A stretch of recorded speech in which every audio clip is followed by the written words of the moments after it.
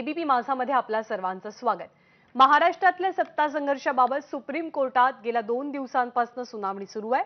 आणि आज सुनावणीचा तिसरा दिवस आहे. सकाळपासून शिंदे गटाकडनं महेश जेठमलानी आणि मनिंदर सिंग यांनी युक्तिवाद केलेत. आता ठाकरे गटाकडनं कपिल सिब्बल यांचा प्रतिवाद सुरू झालाय. प्रशांत आपल्याला अधिक अपडेट देईल. प्रशांत.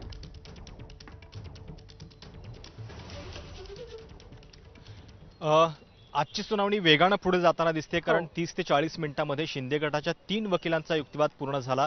महेश जेठमल आणि त्याच्यानंतर मणिंदर सिंह आणि नंतर स्पीकरच्या वतीनं सिद्धार्थ भटनागर यांनी सुद्धा युक्तिवाद केलेला आहे. आणि आता रिजॉइंडर सुरू झालेले आहेत. म्हणजे मुख्य युक्तिवाद झाल्यानंतर त्याच्यासोबत काही पुरवणी युक्तिवाद करायचा असल्यास ती संधी याचिकाकर्त्यांना असते. आणि त्या पद्धतीनं कपिल सिब्बल हे आपले मुद्दे उपस्थित करतायत. त्यांनी सुरुवातीला सांगितलं की मी काही फार वेळ घेणार नाही. आणि सुरुवातीचा मुद्दा कपिल सिब्बल यांनी उपस्थित केलेला आहे तो म्हणजे की केवळ म्हणजे अध्यक्ष जे अपात्रतेच्या नोटिसा देतात त्या काही केवळ पक्षांतर बंदीशी निगडीत नसतात. त्याच्याशिवाय इतर सुद्धा कारणांनी ते देऊ देऊ शकत असतात. आत्ता आपण केवळ या मुद्द्यापुरते अध्यक्षांचे अधिकार डिस्कस करतोय. पण त्या त्याच्यावरती परत सरन्यायाधीशांनी प्रश- प्रतिप्रश्न विचारला की पण जेव्हा पक्षांतर बंदी कायद्याचा म्हणजे कायद्याअंतर्गत ते नोटीस देतात तेव्हा त्यांना जर अविश्वास प्रस्तावाची नोटीस असेल तर त्यांनी आपलं काम थांबवणं गरजेचं आहे का? कारण पक्षांतरबंदी कायद्याअंतर्गत मग अशा एकूण सभागृहातलं मेज मेजॉरिटी जे आहे तर ते डिसाईड करतील. आणि त्यामुळं हा सगळा जो मुद्दा आहे तो या बाबतीत महत्त्वाचा आहे असं सरन्यायाधीशांचं सुद्धा या ठिकाणी म्हणणं आहे.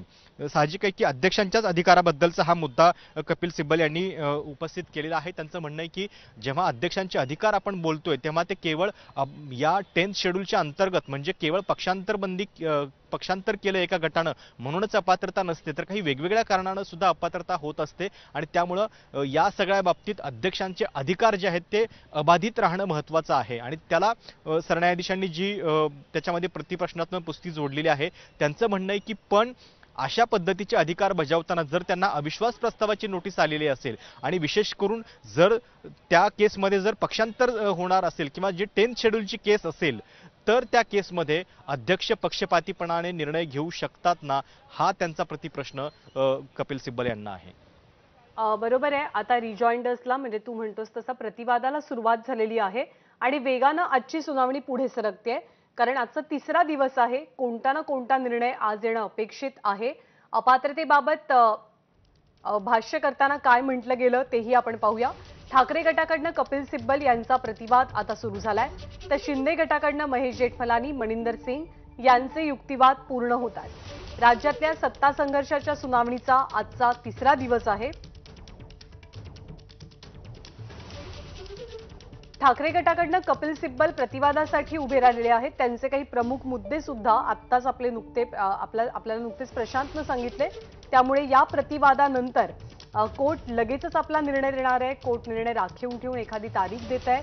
का आजच्याच दिवसभरामध्ये दुपारच्या सत्रानंतर या निर्णयाबद्दल टिप्पणी केली जाते हे आपल्याला बघावं लागणार आहे. आजचा निर्णय एका विशिष्ट मुद्द्यापुरता मर्यादित आहे. हे प्रकरण सगळं सत्ता संघर्षाचं सगळं प्रकरण सात न्यायमूर्तींकडे जाणार आहे. की ते पाच न्यायमूर्तींच्या खंडपीठाकडे कायम राहतं हे आपल्याला पाहावं लागेल.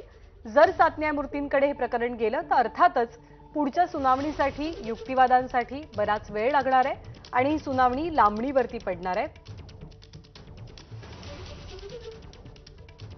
त्यामुळे आजच्या दिवसभरात तरी वेगानं सध्या युक्तिवाद पुढे सरक सरकत असल्याचं चित्र आपल्याला पाहायला मिळत आहे नबाब रेबिया प्रकरण या संपूर्ण युक्तिवादामध्ये अत्यंत महत्वाचं प्रकरण ठरलंय. त्यामुळे त्याचे सुद्धा बरेचसे रेफरन्सेस हे आजच्या प्रकरणामध्ये जोडून युक्तिवाद करण्याचा प्रयत्न हा दोनही बाजूच्या वकिलांनी केलेला आहे.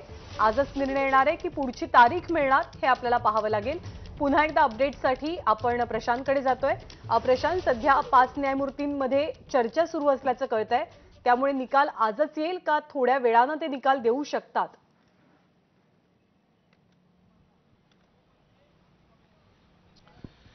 नक्कीच खरं तर वेगानं सुनावणी होती आणि कपिल सिब्बलांनी परत विधानसभा अध्यक्षांच्या अधिकाराचा मुद्दा उपस्थित केला. त्याच्यावरती सरन्यायाधीशांनी काही मतं मांडलेली आहेत. आणि त्यामुळं सरन्यायाधीशांच्या म्हणजे एकूण म्हणण्यात हेच आहे की एकोणीसशे पंच्याऐंशी साली टेन्थ शेड्यूल आलं की ज्या अंतर्गत जी मोठ्या प्रमाणामध्ये पक्षांतर होत होती त्याला घटनेनं बंदी आणली गेली.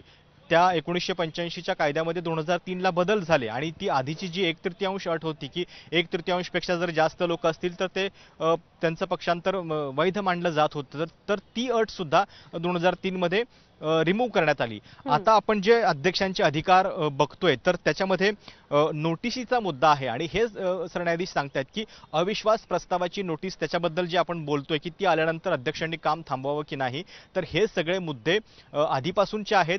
पक्षांतरबंदी कायदा ज- आहे तो तर एकोणीसशे पंच्याऐंशी मध्ये आलेला आहे आणि त्यामुळं त्या अर्थानं त्यांचं हे विधान जे आहे ते अ, महत्वाचं आहे. सोबत आता कपिल सिब्बल आपल्या रिजॉइंटरमध्ये अजून काय मुद्दे मांडतात हे देखील बघावं लागेल कारण खूप काल दिवसभरामध्ये वेगवेगळे प्रश्न घटना ज्या आहेत त्याचा उल्लेख करून महाराष्ट्राच्या घटनाक्रमातले काही मुद्दे उपस्थित करण्यात आलेले होते. त्याला नेमकं कपिल सिब्बल यांचं काय उत्तर येतंय हे आपल्याला बघावं लागेल.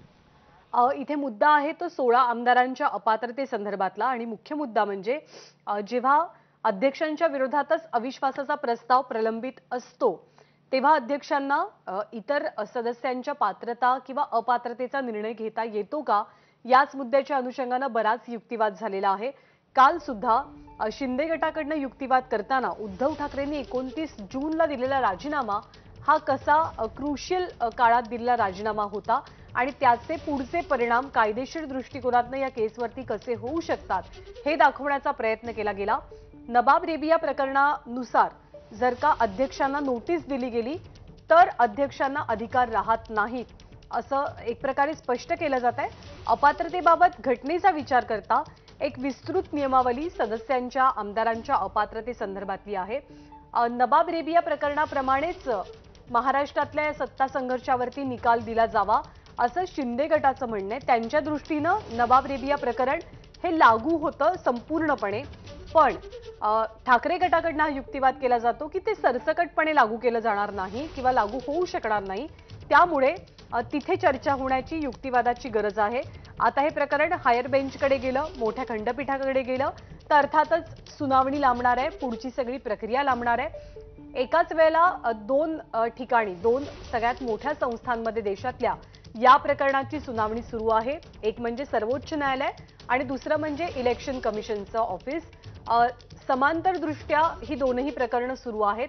परंतु एकीकडे सुप्रीम कोर्टाचा काय तो निकाल लागू द्या आणि मग निवडणूक आयोगाचा निकाल समोर येऊ द्या अशी आग्रही मागणी ठाकरे गटाकडनं वेळोवेळी केली जाते. त्यामुळे या संपूर्ण प्रकरणात जशी मगाशी प्रशांतनं माहिती दिली गेल्या आठ महिन्यापासून नेमकं काय झालंय कोणता ठोस निर्णय आलाय तर तो हा एकमेव निर्णय की एकीकडे कोर्टाचं कामकाज किंवा कोर्टामधले युक्तिवाद सुरू असताना निवडणूक आयोग ही स्वायत्त संस्था आहे ती स्वतंत्र संस्था आहे. त्यामुळे ते त्यांचा त्यांचा युक्तिवाद ऐकून त्यांचा निर्णय घेऊ शकतात.